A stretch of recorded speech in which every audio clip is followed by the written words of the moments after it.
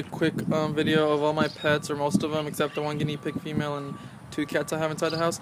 Um, yeah, today's January 29th, um, the Vortex 3, and I'll be showing you all my guinea pigs, doves, hamsters, parakeets in the back, diamond doves on the right, a little society finch I got a few days ago, maybe four days ago. And yeah, okay, so to start you off, I have this guinea pig I'm gonna get rid of on Wallapop, if you guys heard of that app, um, for like at least $50. And then I have these two over here. I have a rabbit too, she, if you guys can see her without the sun glare. Hold on. There's that guinea pig pumpkin. The rabbit in the background. Hold on, let me see.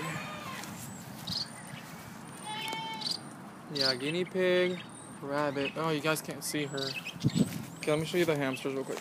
Here's Apache. I know the cage is too small, but I'll have another one.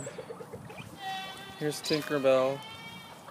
She lives in that glove uh, box. I put Tinker on it. She has sand and um, aspen bedding.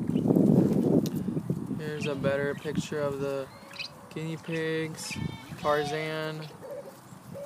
There's uh, Sammy the rabbit. She's uh, what's it called, a hollyhock or something like that. And then you have um, this white ringneck dove. Then you have my regular, my tan Guido ringneck dove. Then you have a pied um, rosy one. I've had him for a while, maybe a year or more. I've had my diamond dove, the darker one, for five years. The lighter one's for a year, about a little bit close to a year. And the female's on the bottom with the nest.